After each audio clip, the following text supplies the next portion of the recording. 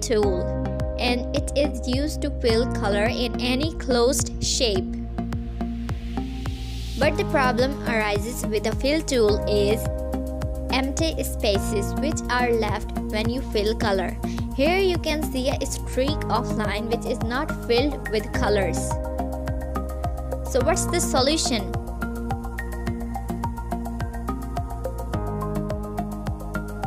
So the first method is when you fill color, don't just tap on it. What you need to do is fill color and drag it out. To some extent, this is going to work out. If not, fill color in empty spaces until all empty spaces are filled. So this is the simple solution.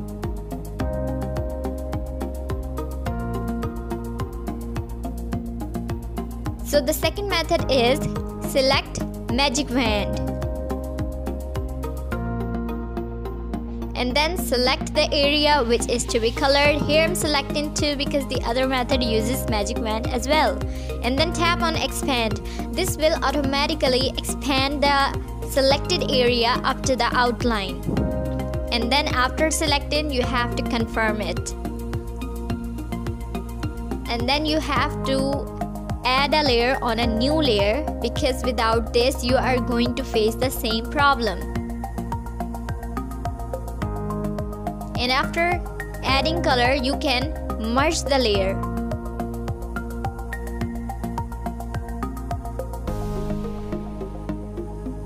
The third method is select solid fill and then fill the selected area with the solid fill. After it, disable the selection. The problem is solved.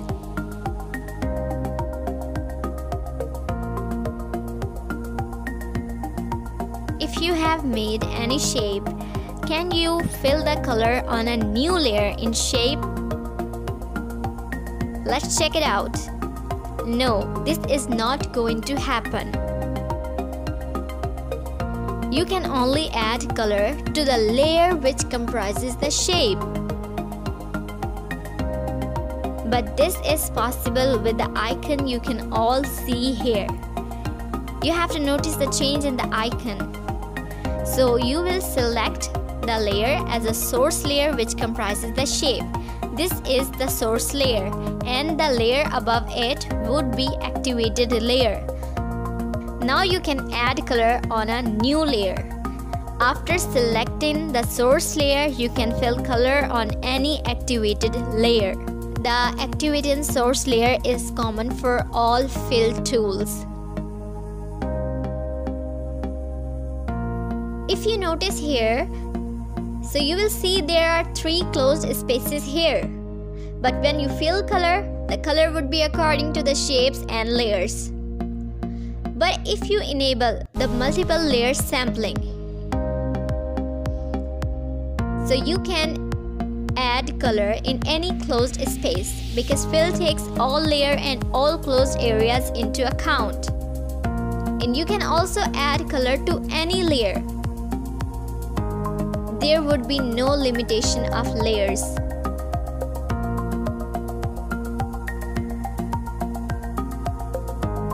Again, the multiple layer sampling is common for all fill tools.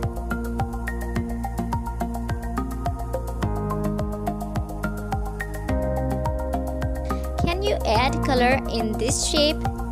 Because this is not evenly colored shape. Color consistency is not equal and there is a color gradient. So for this we use tolerance. If the tolerance value is 0, you can't add color properly to this shape. But if the tolerance value is half, you can cover more area. But if the tolerance value is maximum, you can entirely color the shape. So this is the use of the tolerance.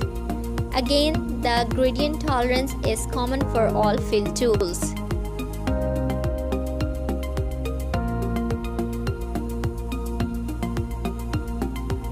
This is the gradient fill tool.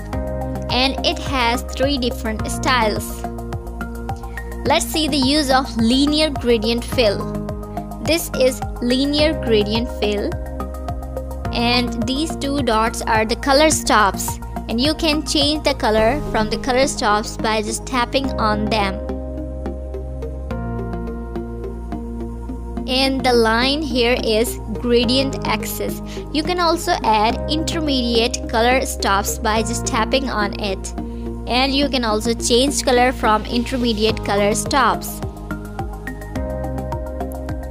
If you don't want this color stop, you can drag it out to remove it. This sign indicates the reverse direction and this sign indicates the reflect. When you enable this, you will see the reflection of one color.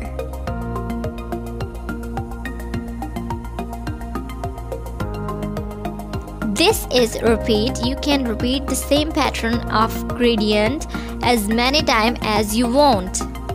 And if you combine repeat plus reflect, you would come up with the exclusive color gradient. And this is so amazing.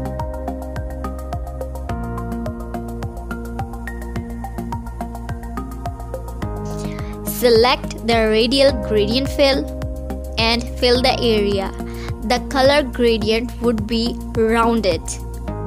And this sign indicates the reverse and this is the reflect of the color when you enable it you will see the reflection of one color this is the repeat pattern means you can repeat this pattern as many times as you want you can also add color stops and you can also change the color from the intermediate color stops now let's just check it out that how unique styles we can create by using radial gradient fill.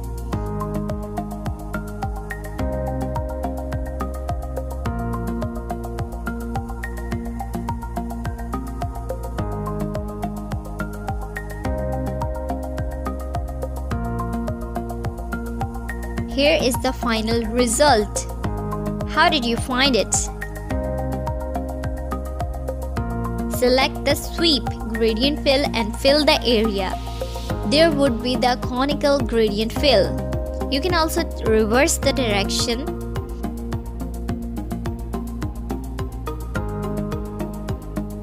you can also add intermediate color stop and you can change the color if you drag it downward, there would be clockwise rotation and if you drag the color stop upward, there would be anti-clockwise rotation. You can also reflect the color, the color would reflect from both sides. You can also drag the point upward and downward for desired effect. You can also repeat this pattern as many times as you want. Let's check it out how diverse styles we can create using sweep gradient fill.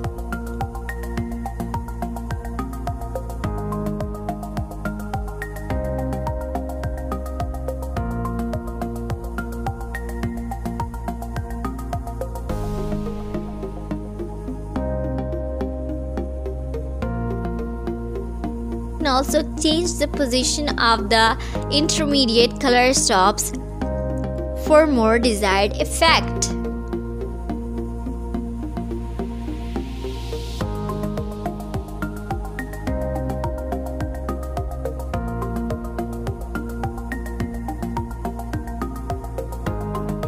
Pattern tool has so many patterns and you can use all of them you can also add patterns from your gallery, camera, and your files and you can also search it on the internet. Oh, so I have selected this one. And here you will see the options of setting. So first one is you can change the color of the pattern. The second one is you can increase the saturation of the color. Third one is the brightness contrast the difference in the light and dark colors. You can also adjust these settings to produce the desired effect. you can also change the scale of the pattern by dragging it back and forth.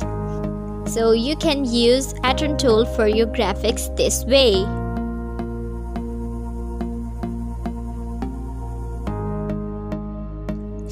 Is the source. Source is the object which is to be cloned. You can select any layer for source. You can select this layer for source and you can select the lower layer for source. You can choose any brush for cloning. Here I have chosen the soft air brush. You can clone on the same layer as of source or you can clone on a separate layer.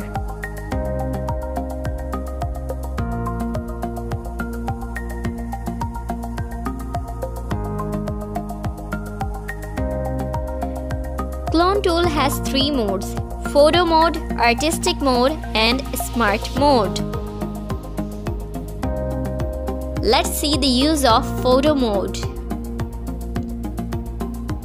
Photo mode clones the object exactly the same as of source. You can find out the difference. It has two options, offset and align. If the offset is disabled, it clones exactly on the same location of source. And here is the source and here is the clone. You can check it by hiding the lower layer. If offset is enabled, you will see an offset pointer. Set the pointer to the area you want to clone and then you can clone anywhere on the layer.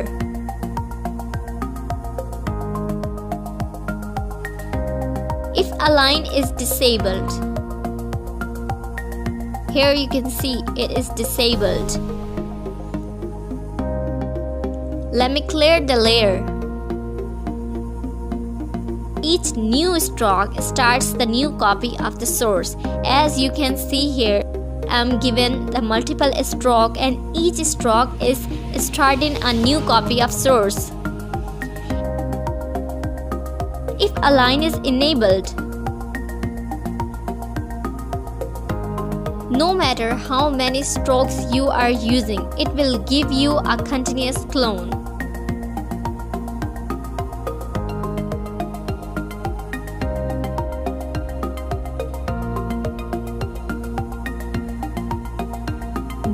Mode uses original image as a general source of colors for painting at the target location.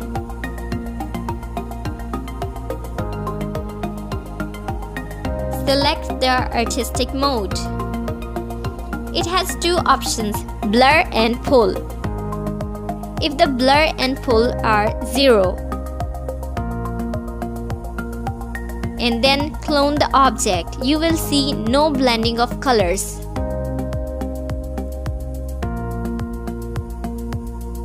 But if the value of the blur is maximum, and if you clone it, you will see there would be more softer blending of colors than previous one. If the pull is 0, you can't pull or smudge the color. But if the value of pull is increased, you can pull the color to some extent. And if the value of pull is maximum, you can pull the color up to your stroke length. Here you can see this. And this is very helpful in cloning the object.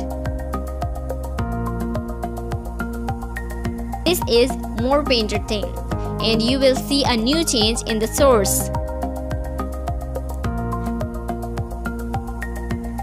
Select the smart mode and it has option of stroke length, mix-in, smart rotation and edge contrast. Let's see the use of the stroke length. If the value of stroke length is 0, then when you clone, you will see the length of the stroke is in the form of circles or dots.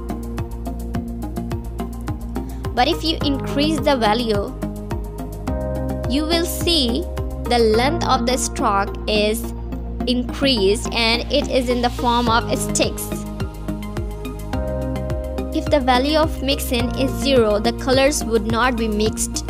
But if the value is increased to maximum, you will see the colors are mixing and you will see a more softer mixing of color than this one.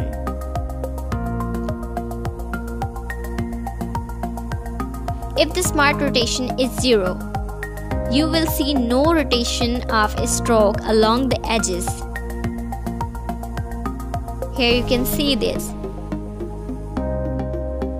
But if the value of the smart rotation is increased, you will see the rotation of the stroke along the edges and when it approaches the corner, the stroke rotates along the edges.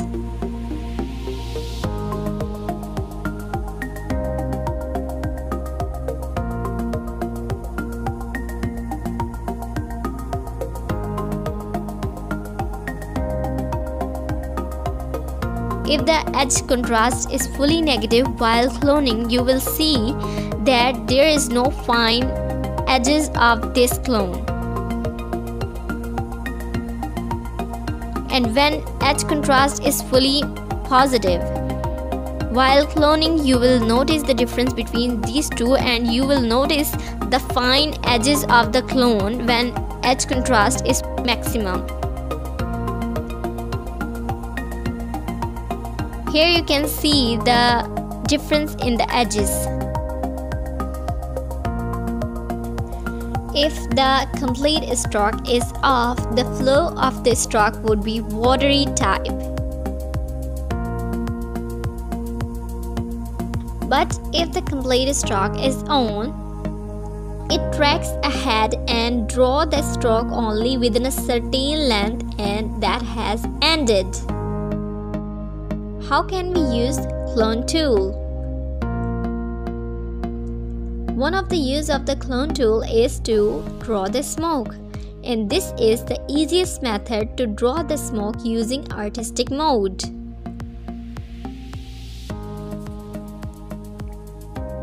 Like and subscribe.